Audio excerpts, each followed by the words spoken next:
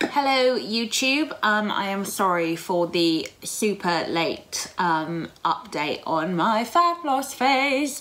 I have had a really busy couple of weeks um, in my personal life, in my professional life, and it's just been one of those weird couple of weeks where everything kind of builds and gets on top of well me. I'm super super anxious as a person. So when my professional life and my personal life get really hectic i um, kind of retreat. Um, and things like my social media uh, and my social life anything social takes a huge hit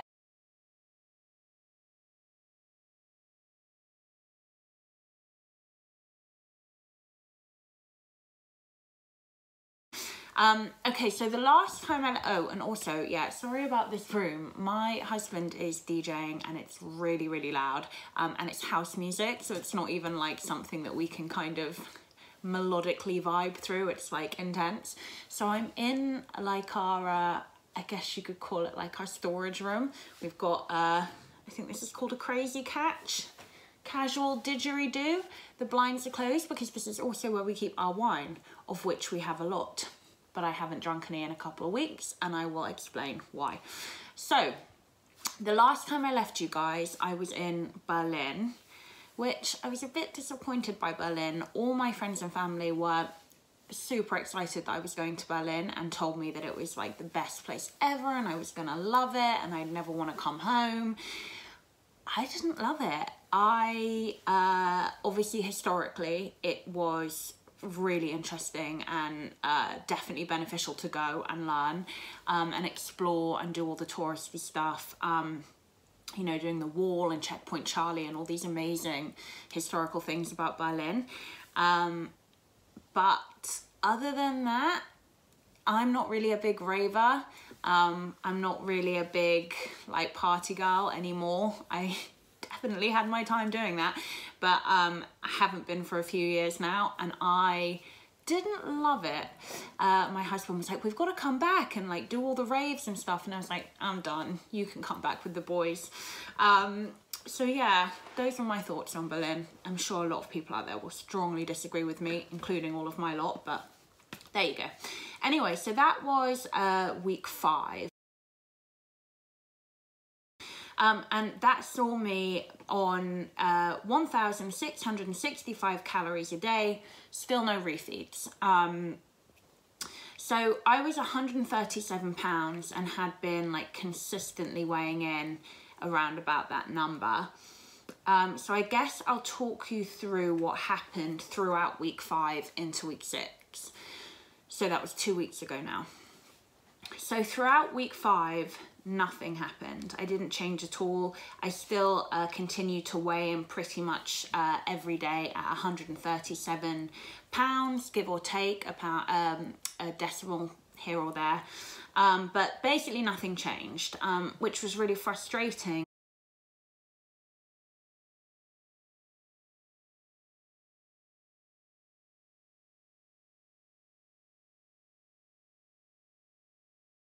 Initially I was kind of thinking like, oh God, like, did I not take enough time reversing? Has my uh, metabolism adapted?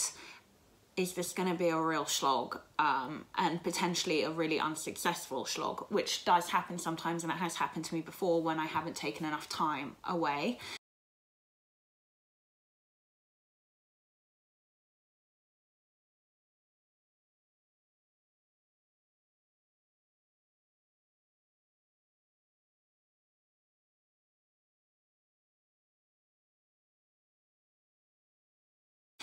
And then I just had to keep saying to myself, like, no, you're on 1,665 calories. And for me, historically, like that is actually quite high in a fat loss phase specifically.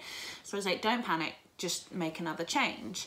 Um, so the start of week six, again, I was weighing in at 137 pounds, no changes. Um, and I decided to make a kind of quite a change because at this point it's the start of week six and I've only lost three pounds, which is means I'm kind of behind. At that point, I would have liked to have lost like a minimum of five, ideally six or seven. So to have lost three, I was a bit like, oh, okay, I'm just gonna have to step it up a notch.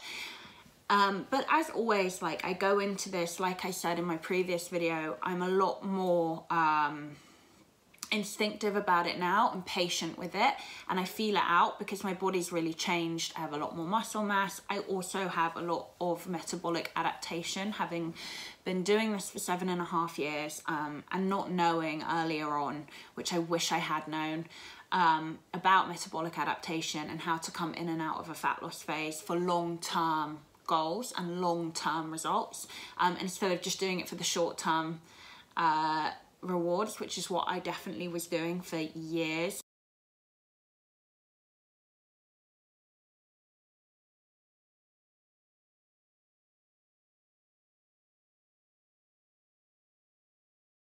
So, right, start of week six, again, 137 pounds, definitely behind. So I just dug in. I added uh, five minutes to my daily cardio. So I went from doing 35 minutes of steady state, six days a week, to 40 minutes um, of cardio, six days a week. Five of these sessions stayed steady state.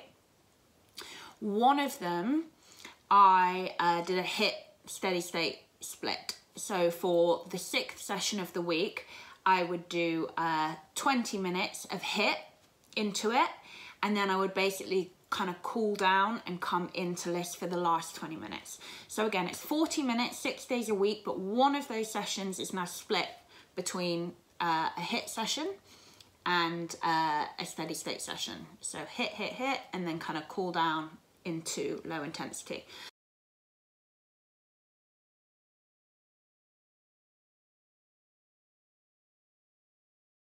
And then I also decrease my calories via carbohydrates. So week six, uh, I stayed at 65 grams of fat, no change there.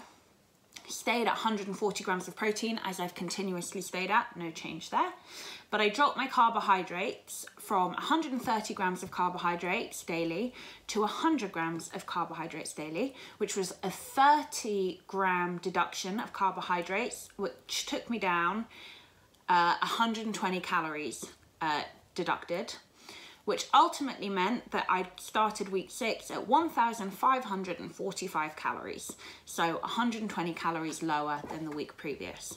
Um, so, I mean, 120 calories drop is not insignificant, but it, it's also not extreme. Um, coupled with a five minute cardio increase is kind of makes me feel comfortable that I'm doing something to get out of my 137 pound sticking point.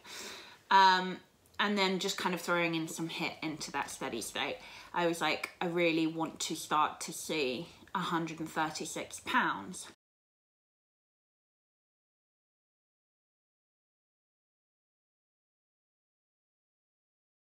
So throughout week six, I um, was waking up at 137, 137, and then started waking up at 136, 136, um, and ultimately I took an average for um, the entirety of week six and the start of week seven at 136 pounds. So I finally uh, managed to kick 137 to the curb.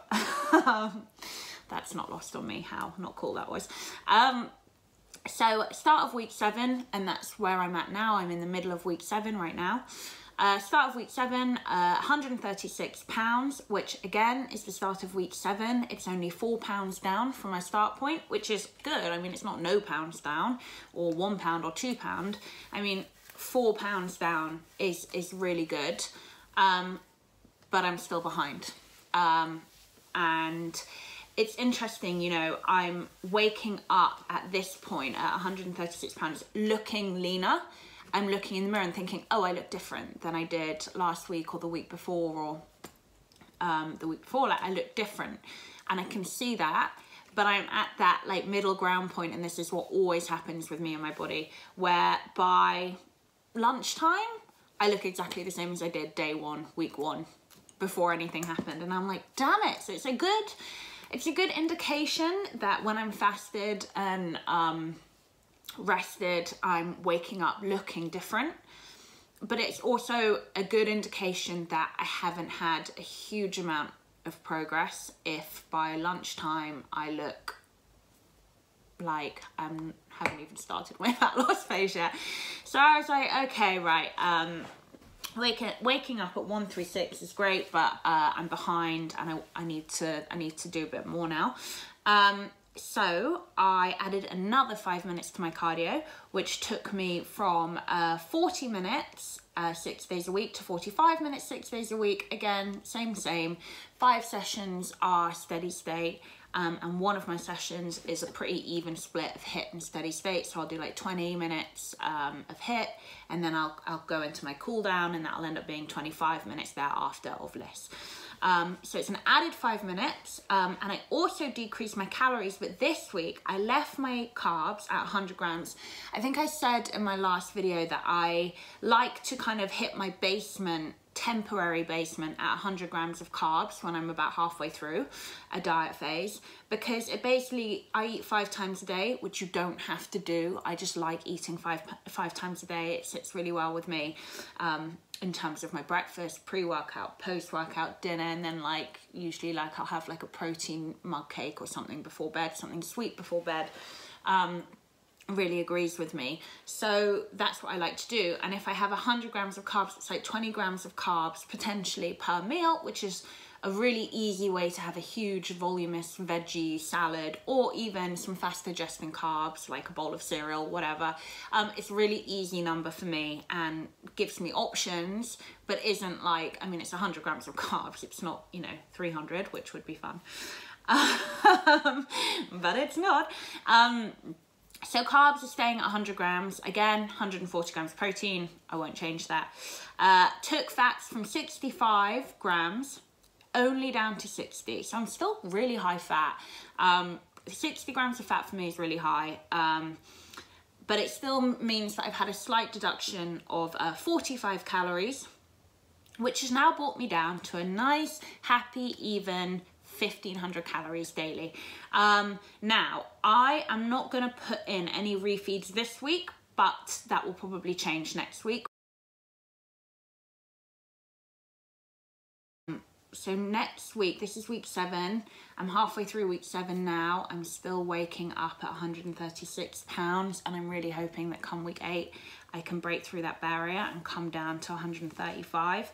I mean, in seven weeks to go from 140 pounds to 136 pounds, as I said, it is good movement, but it's not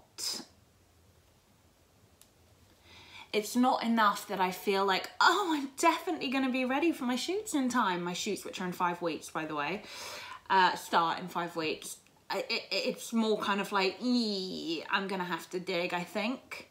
And that's okay. Like, I know how to, I know how to do that. I know how to get my calories low, but feel satiated. Um, you know, I know how to I know how to train hard. I know how to time my uh, food intake, my nutrient timing around my training so that I feel fueled for the session, so that I can recover from the session. I know I've been doing this for so long, like I'm kind of okay with the potential that I'm gonna have to dig. The things that I really struggle with when it gets a bit harder really are never anything to do with food anymore. Uh, I love wine I love the fact that, you know, if I, because now I track and I, I count calories and macros, I love the fact that I can go out with my husband or my friends and have a glass of wine and account for it. Um, but you know when you really have to dig and you don't really want to be the kind of person that moans that they're not getting in shape but you know that there are little things that you're doing that aren't really optimal you know you want to be able to say no i cut that i took that out so that's not it. It's like a process of elimination. It's, it's quite comforting to know that you're doing all you can be doing and if it's not working there's only so much you know there's only so much i can do. But i don't want to be like well i'm kind of doing mostly what i should be doing. I probably could be doing a bit extra but i'm not going to like no. The the things i find harder things like that cutting out the glass of wine or as it gets closer being like you know what? I can't go to like a pizza night with all my friends because you know it's it's just it just gets a bit too hard and i can't fit it in those are the bits i struggle with it's really social things. Um, but I've been doing this for so long now that I'm quite good at the food situation. I know what foods to eat, uh, which I really like, which make me feel full and happy and satiated. I know a lot of you have my books. Um, the fat loss blitz, my four week body blitz, a lot of my favorite meals are in there. I was really nervous. I am really proud of myself that I'm the only person, um, I guess, in my area of competition um, who really writes every word of their book cover to cover. I write the intro, I write the motivational quotes, I write the workout plans, I write the recipe guide, I write the food bible. I don't, I have editors obviously who edit the book, but nobody writes for me at all. Um, and I would never put my name on something that someone else had done. Um, so when I wrote the food bible and the recipes guide of my books, I was really nervous because I was like, this is what it looks like when you diet and this is how to stay really satiated and really full and to make sure that you're eating really healthy. You know, you want your protein, you want your fiber, you want to be able to eat consistently throughout the day and feel full, but stay in your calories, you know, and that's a skill. And it means that you often end up eating some quite weird food like broccoli mash, for example and I was really, really nervous when I did it. And I have to say, it has been like the star of the show. So much so that I even put broccoli mash in my second book, The Fat Loss Blitz. Um, and I'm really happy that I think people get it. But that's the kind of thing I mean, you know, you do like a heck chicken sausages and broccoli mash, you get really lean protein in, but it's you feel like you're eating sausages, so you don't feel like, oh, here I am with my piece of tiny, teeny grilled fish um, and my like piece of lettuce. No, like you eat that and you feel it's enjoyable, especially if you're a Brit, good old bangers and mash, and it's filling and it macro wise hits what you need. Um, so just stuff like that. I'm just giving an example um, of how I can like get deeper and deeper into a calorie deficit and still feel full, satiated, happy, fine. But the things that do suffer, and anyone who's ever done a diet before will tell you this. Um, sometimes it is your social life. That being said, for my clients and my readers and my followers, you guys don't have to, you know, get fully naked in front of a camera and try and sell yourself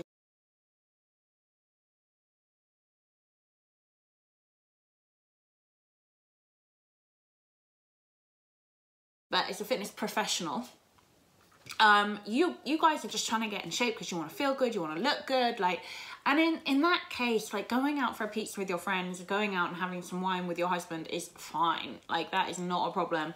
But the kind of level that I want to get to um, and feel like I should be getting to if I want to continue to prove myself is a little bit more extreme. And and any of you who've listened to my podcast the Bodcast will know that I consistently say the more extreme the goal the more extreme the sacrifice.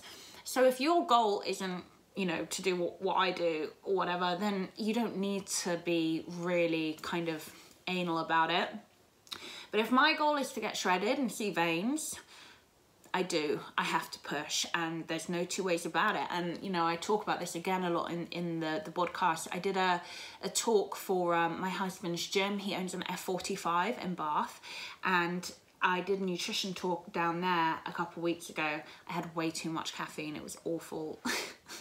I went out for dinner with friends after and they were like, you were talking a mile a minute. I was like, sorry. Um, but I did a talk there and I, you know, I explained to everybody that it is really hard to get into that Instagram model shape that you see on Instagram. It doesn't just happen. It takes a lot of work and it takes a lot of sacrifice. And the idea that people are like, you know, there are some really genetically gifted celebrities out there, female celebrities, who are like, I eat a Sunday roast every week and I wake up with abs because I train really hard. And it's like, fuck off. I have never in a million years eaten whatever I want and gotten shredded abs. Like it's not happened. So good for you if you're genetically blessed enough to be able to do that. Amazing. But please do not spread the word that that's how it works because I've been PTing people for seven and a half years and um, I have yet to have a client like that, although I do have friends like that. Um, but it's rare, it's really rare. And to get in that kind of shape takes a huge amount of effort and sacrifice. um, and it doesn't just happen. So yeah, I, I wish that people would stop saying that. Um, unless you are genetically gifted, in which case, oh, I'm so jealous, but well done. Um, so yeah, I'm rambling. I always end these videos rambling, sorry about that. So I'll do a week up eight update next week. Um, and um, I have actually some really, the reason I am so busy and I'm not really saying what I'm doing is because I'm not announcing it yet, but I have some really big, really fun news, um, which I'm really excited to announce. And once the ball is rolling and I'm out of this funk I'm in, the stress funk, um, I'm just going to be super excited about. So yeah,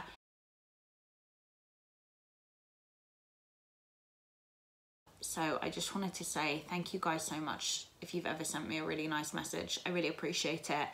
Um, yeah, it makes me feel really good. So thank you, and I'll catch you in week eight. Bye.